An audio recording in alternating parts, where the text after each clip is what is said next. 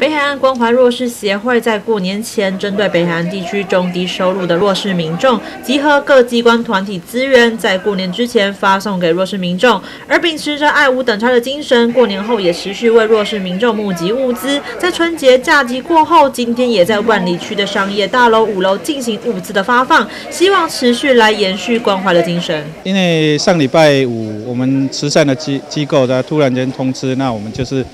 呃，北海岸弱势关怀协会，还有呃，我们廖正良议员服务处，就是协助把这个场地，还有一些前置的动作都把它呃整理好，好，然后就是诶联系上都已经由志工联系，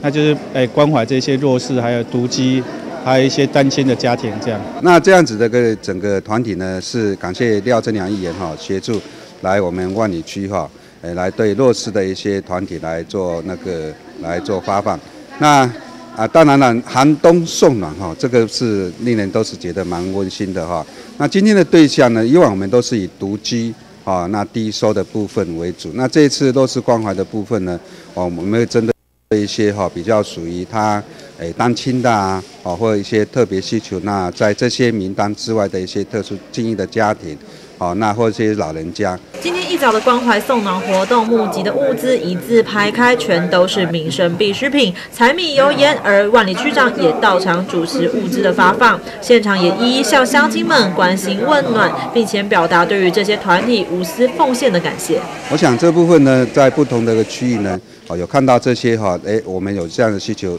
平常的一些生活需求是最必备的。我们今天看到的物资是以柴米油盐酱醋茶为主，所以你看那个我们的米是非常多的，盐也是非常多的，啊，还有一些生活的必须的那个卫生纸是相关的一个必备的物资，好，能够在这样子的冬天的部分呢，啊，雪中送炭，好，那我想每一个我们今天来的一些乡亲呢，一定是内心是温温暖暖的。我期待这样子的部分能够哈，一年啊到头都能够诶积募集更多好善心人士共同来做这个善行义举。万里区长表示，今天捐赠的物资都是以民生必需品为主，加上这一次公所提供的名单，由于前一次是发放给中低收入等弱势民众，而这一次希望将物资发送到较为特殊的弱势关怀家户，以爱无等差的方式，让关怀可以更广泛的送到民众手中，在寒冬中温暖每一位弱势家户的心。记者廖平衡万里采访报道。